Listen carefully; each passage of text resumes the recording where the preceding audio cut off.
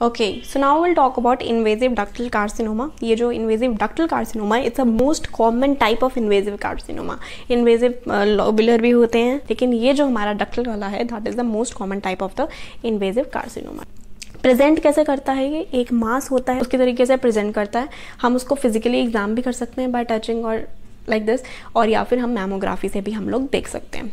जो physical exam है, उसमें क्या होता है, जब हम लोग टच करते हैं या फिजिकली हम उसको एग्जामिन करते हैं तो टू सेंटीमीटर से ज़्यादा अगर मास हो तो ही हम उसे पालपेट कर सकते हैं, नहीं तो हम लोग के बस की नहीं है।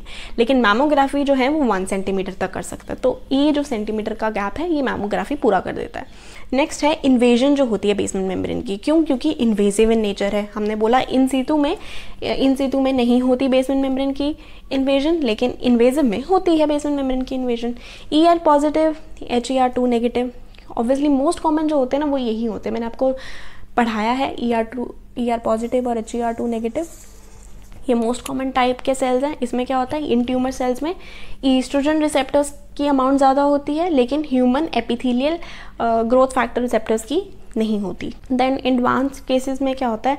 ये इसमें स्किन डिम्पलिंग या निपल की रिट्रैक्शन हो जाती है। निपल रिट्रैक्शन और skin dimpling these are the morphological features in advance stages हर एक में नहीं होता। इसके अगर हम सब टाइप्स देखें, या फिर हम इसको अलग से भी स्टडी कर सकते हैं, ठीक है कि बिल्कुल अलग बोल देते हैं कि ये इसके अंडर नहीं आती। कई कई इसको अलग लेते हैं, कई इसको इसके अंडर पढ़ते हैं। तो you can also treated as them these types as separate types okay तो पहली टाइप आती है ट्यूबुलर कार्सिनोमा की।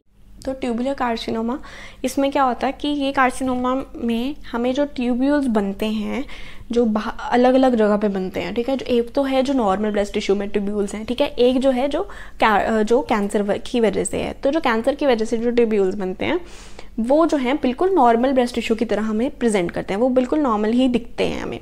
तो अगर हमने डिफ्रेंशिएट करना हो कि ये कार्सिनोमा है या नहीं है तो हम क्या करते हैं? हमने, मैंने आपको पिछले लास्ट बिनाइन लेक्चर्स में पढ़ाया था कि अगर वो चीज़ नॉर्मल है, या वो बिनाइन भी है, अगर नॉर्मल है या बिनाइन है तो हमने पढ़ा था कि उसके अंदर दो टाइप की सेल लेयर्स होनी चाहिए थी, उसकी एपिथीलियम में।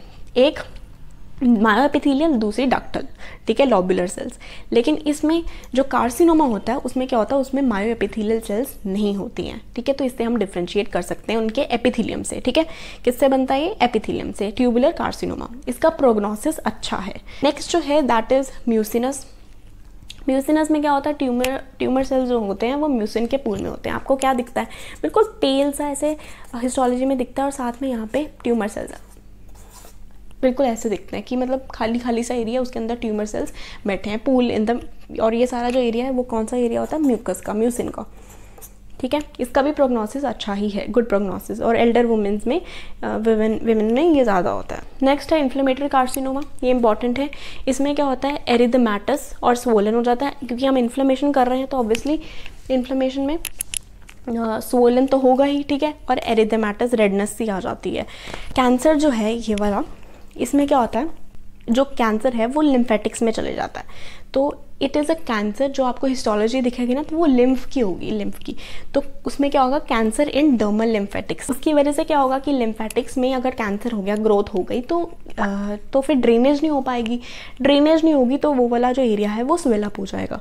तो वो इसीलिए हम बोलते हैं कि इन्फ्लेमेटरी इज़ वोलन अब अब वो हमें प्रेजेंट कैसे करता है? एरिदमेटिस वोलन ये जो फीचर्स हैं, ये हमने डर्मेटाइटिस में भी पढ़े थे मैस्टाइटिस सॉरी मैस्टाइटिस में भी पढ़े थे एक्यूट मैस्टाइटिस में। तो हमें लगेगा कि, हमें तो लगेगा कि ये इन्फेक्शन है, ठीक है? नॉर्मल जो स्टेफाइलोकॉकस ऑरियस से जो हमने पढ़ा था, उससे हुई है। तो हमें तो यही लगेगा। तो तो हम उसको एंटीबायोटिक्स दे देंगे।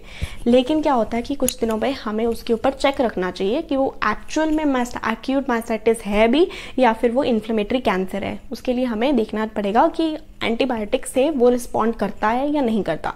और अगर नहीं करता तो फिर आपको इन्फ्लेमेटरी कैंसर के ऊपर ध्यान देना चाहिए। इसमें क्या, इसका जो प्रोग्नोसिस है ऑब्वियसली इतने हमें दिख गए कि वो उसमें हो सकता है तो पुअर ही है प्रोग्नोसिस कोई अच्छा खासा नहीं है। पीयू डी ऑरेंज हमें because of this erythematous swollen ये जो है कंडीशन है पीयू डी ऑरेंज मतलब कि जो ऑरेंज का छिलका होता है ना, वैसे कलर कैसे डॉट डॉट डॉट वाला, ठीक है, और स्वोलन सा, वैसा ब्रेस्ट का हमें दिखता है morphology peau d orange medullary, एक मेडुलरी कैंसर है, इसमें क्या होता है, इसमें हाई ग्रेड मेलिग्नेंट सेल्स होते हैं, जिनके अंदर इन्फ्लेमेटरी लिम्फोसाइट्स और प्लाज्मा सेल्स ये जो लिम्फोसाइट्स हैं और ये जो प्लाज्मा सेल्स हैं, ये सब इन्फ्लेमेटरी ही हैं। तो मेडुलरी में क्या होता है इन्फ्लेमेशन से रिलेटेड होता है ये चीज़। और ये किसमें फाउंड होती है in patients with B R A C one B R A C one जो है, हम पढ़ेंगे कि ब्रैक वन ज़्यादातर मेल्स में भी होती है। जो मेल ब्रेस्ट कैंसर होता है ना, वो ज़्यादातर ऑलमोस्ट एसोसिएटेड ब्रैक वन से होता है मेल ब्रेस्ट कैंसर वो हम पढ़ेंगे। तो inflammatory lymphocytes and plasma cells treatment अगर हमने करना हो सर्जरी कीमोथेरेपी रेडिएशन और हार्मोन थेरेपी इन सबसे ट्रीटमेंट हो जाता है। ट्रीटमेंट तो हमने हर एक में क्या किया है? सर्जरी और रेडिएशन तो हमने कर ही दी है हर एक में ठीक है? तो इतना कोई ट्रीटमेंट में कोई खास बात है नहीं। और राइट right, और सर्जरी का क्या मतलब होता है? सर्जरी मतलब हमने वो एक्सरसाइज करना मास्टेक्टोमी कर देनी ठीक है? मास्टेक ब्रेस्ट ही निकाल दी। So this is all about invasive ductal carcinoma. If you have any doubt, you can ask and if you like the video, please subscribe. Thank you.